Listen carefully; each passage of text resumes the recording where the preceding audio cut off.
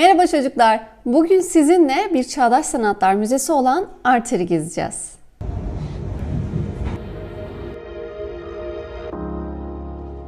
Arter'in Dolapdere'deki binası Çağdaş Sanatlar Müzesi olmakla beraber sanatın farklı disiplinlerini bir arada bulunduran bir kültür merkezi. Ve şu an orada devam eden birkaç sergi var. Sergiler zaman içerisinde değişebiliyor. Bugün birlikte geçtiğimiz haftalarda Arter'e gittiğimde gördüğüm eserlerden bir seçkiyi izleyeceğiz. İlk sanatçımız Alman sanatçı ve sanat eğitmeni K.P. Bremer.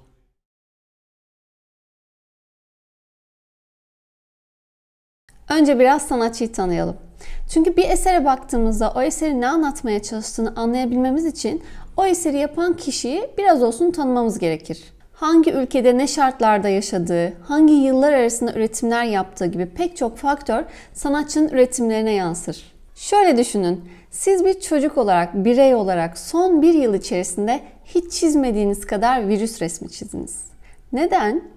Çünkü tüm dünyayı etkileyen çok önemli bir olay oldu. Koronavirüs gerçeğiyle karşı karşıya kaldık. Ve bu bizim düşüncelerimize, çizgilerimize, resimlerimize yansıdı. Tıpkı sanatçılar da yaşadıkları dönemde karşılaştıkları savaşlar, hastalıklar, toplumsal olaylar her zaman sanatçının çalışmalarına etki etmiştir. Çalışmalarını şekillendirmiştir. Özetle sanatçı toplumsal olaylardan etkilenen biridir ve kendi yaşadığı zamanın çok iyi bir gözlemcisidir. K.P. Bremer de tam olarak bunu yapıyor. Kendisi yoğunlukla 1960 ve 1980 yılları arasında üretimlerini yapıyor ve o yıllar Almanya 2. Dünya Savaşı sonrası savaşın ardında bıraktıklarıyla yüzleşmeye çalışıyor. Ve bu durum tabii ki K.P. Bremer'in üretimlerine yansıyor.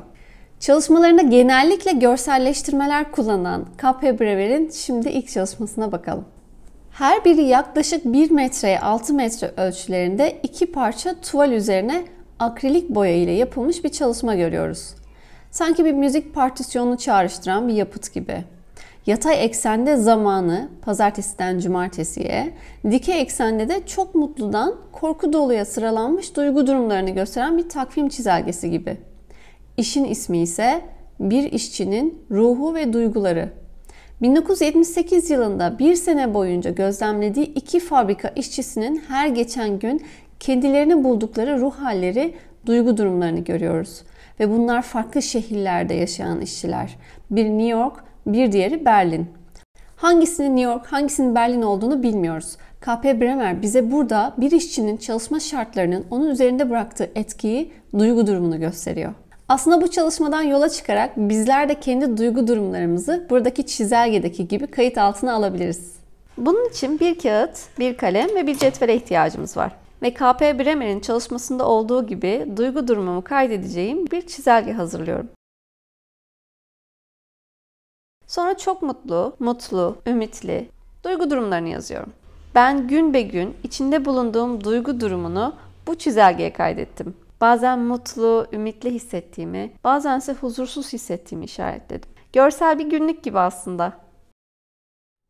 Şimdi K.P. Bremer'in bir diğer çalışmasına bakalım. Çalışmanın ismi Anlamlar Yelpazesi. Bu eserde farklı insanlara sorular yönelterek bir takım kelimelerin anlamlarını görselleştiriyor. Örneğin sosyal hizmetler uzmanlarına, hakimlere ve gençlere göre ceza sözcüğünün onlar için hangi anlamlar çağrıştırdığını araştırıyor.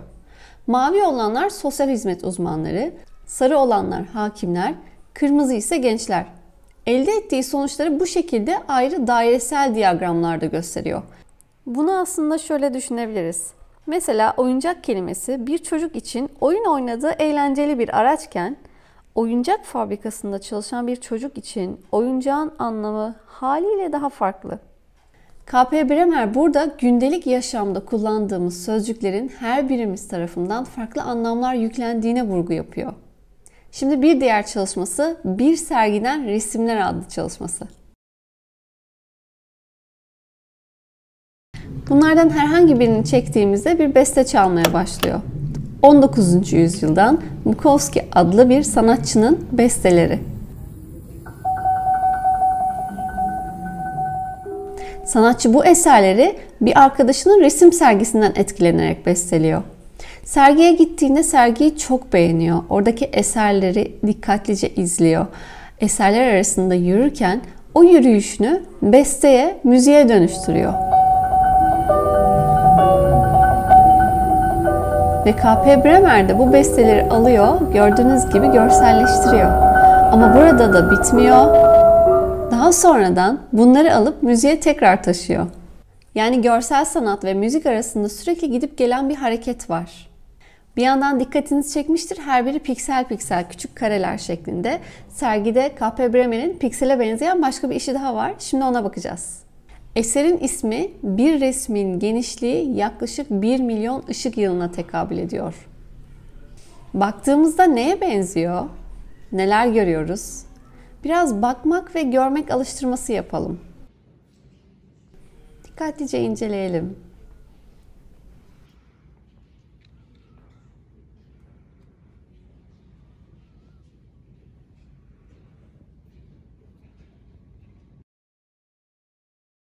Bir şeylere benzetenler var eminim. Lütfen nelere benzettiğinizi benimle yorumlarda paylaşın olur mu? Şimdi bu eserden yola çıkarak biz de bir piksel çalışması yapacağız. Bunun için kareli bir kağıda ihtiyacımız olacak. Piksel, dijital bir görselin en küçük parçasıdır. Bu küçük parçalar yani kareler bir araya gelerek görüntü oluşur. Piksel artta minimum piksel kullanarak obje oluşturma sanatıdır. Kareleri bir araya getirerek dilediğiniz görüntüyü oluşturabilirsiniz. Ben sizin için birkaç örnek göstermek istedim.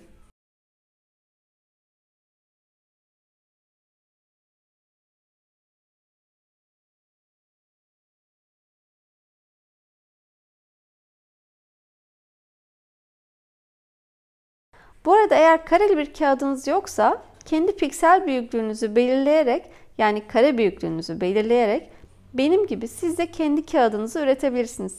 Sizlerin yapacağı çalışmaları merakla bekliyorum.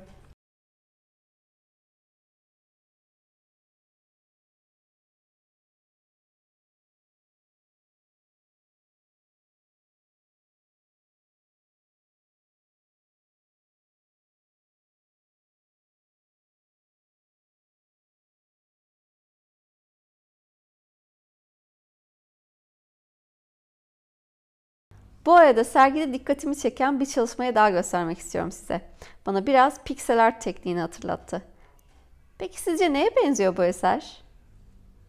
Neye benzettiğinizi yorumlarda benimle paylaşmanızı istiyorum. Bakalım neler gelecek. Şimdi 4 çalışması ve 2 etkinliğiyle KP Bremer'i geride bırakıyoruz ve Altan Gürman'a geliyoruz. Altan Gürman Türkiye'de çağdaş sanatın öncülerinden ve yapı taşlarından olarak kabul ediliyor. Kendisi sanatçı ve eğitimci ama burada biraz eğitimci rolünü konuşacağız. Altan Gürman 1967'de akademiye giriyor. Yani şimdiki Mimar Sinan Güzel Sanatlar Üniversitesi.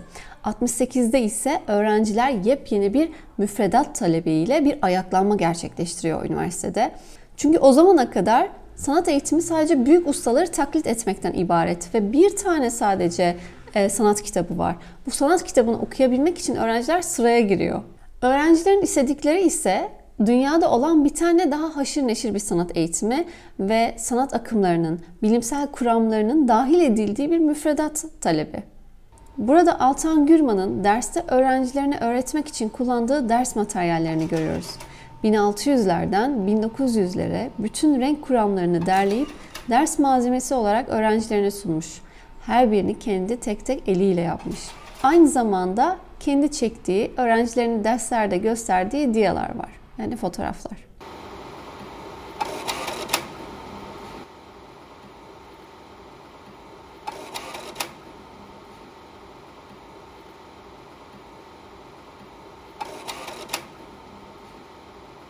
Bu şu an çok ilginç geliyor olabilir size ama sadece tek bir sanat kitabının olduğu bir dönemden bahsediyoruz. Görsel kaynaklara ulaşmak çok zor. O sebeple Altan Gürman'ın öğrenciler için kendi elleriyle ürettiği bu görsel kaynaklar, ders materyalleri oldukça kıymetli. Hadi şimdi gelin Dinleyen Gözler için adlı grup sergisine gidelim. Müzik ve ses odaklı bir sergi ama sergiyi dinlediğimiz zaman hiç de ses odaklı olmadığını görüyoruz. Hatta oldukça sessiz bir sergi. Bunun sebebi ise buradaki müziğin duyma duyumuza değil, görme duyumuza hitap etmesi. Yani burada görülen bir müzikten bahsediyoruz. Daha girer girmez bunu çok iyi gösteren Füsun Onur'un 2010'da ürettiği Fısıltı adlı eseri. Önce sadece izleyelim. Aslında baktığımızda çok da yabancı olmadığımız bir biçim var. Bir sehpa diyebiliriz ya da tabureyi anımsatan bir form. 7 adımda bir değişim geçiriyor. 7 nota gibi adım adım değişip küçülerek kendi ritmini oluşturuyor ve sessizliğe kavuşuyor. Bu eserin ismi ise isimsiz. Sanatçılar bazen çalışmalarına isim vermekte zorlanabilirler ve onlara isimsiz adını koyarlar. İsimsiz 1, isimsiz 2, isimsiz 3 gibi. Siz yaptığınız eserlere ne isim veriyorsunuz? Eserlerinize verdiğiniz isimleri benimle yorumlardan paylaşır mısınız? Nasıl çalışmalar yaptığınızı ve onlara nasıl isimler verdiğinizi merak ediyorum. Şimdi çalışmamıza dönecek olursak Alman sanatçı Annette Runzler'in 2013'te ürettiği işe bakıyoruz. Sanatçı genellikle gündelik nesneleri farklı şekilde düzenleyerek, farklı şekilde yerleştirerek bizim algımızla biraz oynuyor. Onun kendi işlevinden dışarı çıkıp farklı bir işlevmiş gibi gösteriyor. Burada farklı ve çeşitli türlerden cam bardaklar ve bir sürahi görüyoruz. Yerde duran bu cam kapların her birinin üzerinde tavandan sarkan bir ampul var. Işık bardakların içerisinden yere süzülüyor ve ışık hüzmeleriyle gölgeler arasında oyun bardakların her birinin tasarım özelliğini görünür hale getiriyor.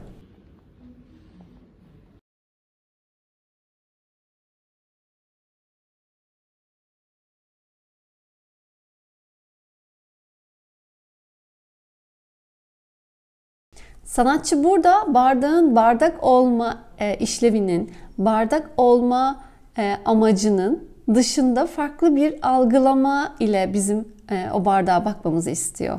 Ve artık bardağa bardak olarak değil, bir heykel olarak bakıyoruz belki. Belki bir aydınlatma e, aracı olarak bakıyoruz. Biraz algımızla oynamayı seven bir sanatçı.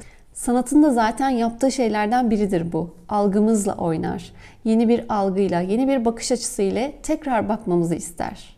Evet, bir diğer sanatçı John Cage.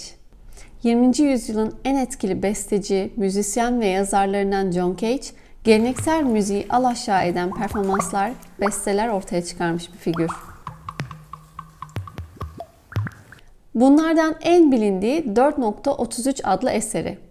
Bir piyanist sahneye çıkıyor, izleyicilere selam veriyor ve piyanosunun başına oturuyor. Ve 4.33 saniye boyunca hiçbir şey çalmıyor. Sonra kalkıyor 4.33 saniye sonra tekrar seyircilere selam veriyor ve sahneden ayrılıyor. Seyirciler tabii ki büyük bir şok içerisinde itiraz ediyorlar. Biz buraya müzik dinlemeye geldik. Hiçbir şey duymadık. Nasıl yani diye. Ve John Cage şöyle diyor. Aslında müzik vardı. Onlar duymasını bilmedi. Mesela orada insanların homurdanmaları, öksürükleri, bir sürü elektronik cihazın kendi sesi, o mekanın, o odanın, alanın kendi sesi, bir sürü ses vardı aslında. Dışarıdan gelen trafik sesi, kuş sesi gibi bir sürü ses vardı. Evet yapılandırılmış bir ses yoktu ama mekanın, insanların bütün o olağanlığının, kendiliğinin içerisinde bir sürü ses vardı. John Cage'in müziğe yaklaşımına tam olarak böyle. Evinde oturuyor ve trafiğin sesini dinliyor. Evinin sesini dinliyor. Evin içinden çıkan sesleri, e, dışarıdan gelen sesleri, e, yine elektronik cihazların çıkardığı sesleri, buzdolabından çıkan sesi. Sadece evde değil, doğanın da sesi olduğuna inanıyor. Kulağınızı verdiğiniz sürece doğada bir ses olduğunu söylüyor. Şimdi bütün bunları aklımızda tutarak şimdiki çalışmaya dikkatlice bakalım. Hep doğaya dair imgeler değil mi? Peki neyin üzerindeler? Nota kağıdı, dizek, F'ler var. Burada forte, müzik sembolleri, ölçüler. Normalde alışık olduğumuz gibi nota kağıdının üzerinde notalar yok. Doğa imgeleri görüyoruz. Şimdi biz de John Cage'in bu eserinden ilhamla bir çalışma yapacağız.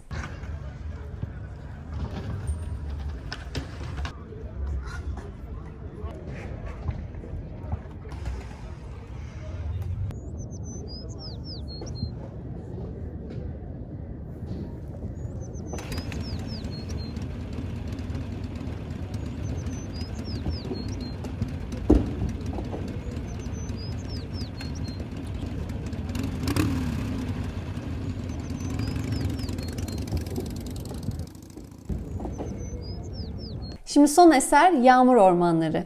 Bazı çalışmalar vardır anlatılmaz deneyimlenir diyebileceğimiz, anlatılmaz yaşanır diyebileceğimiz eserlerden biri bu.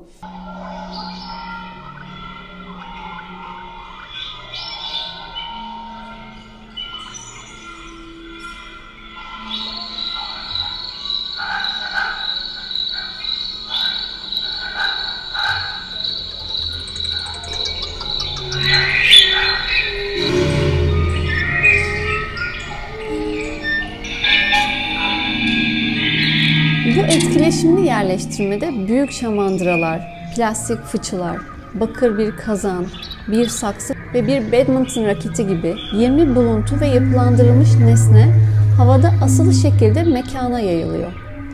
Ve bilirsiniz genelde sanat eserlerine dokunulmamız istenmez. Burada tam tersi. Özellikle dokunulması isteniyor. Dokunun, okşayın, kulağınızı yaslayın, titreşimlerine kulak verin.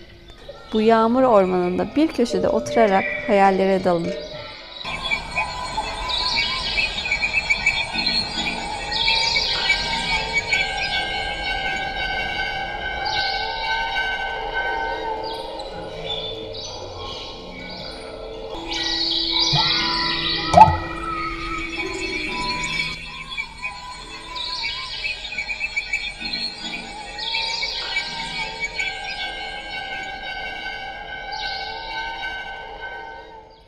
Evet, müze gezimizin sonuna geldik. Umarım keyif almışsınızdır. Eserler içerisinde yaptığınız çalışmaları benimle paylaşırsanız çok mutlu olurum. Kendinize iyi bakın, sağlıkla kalın, sanatla kalın.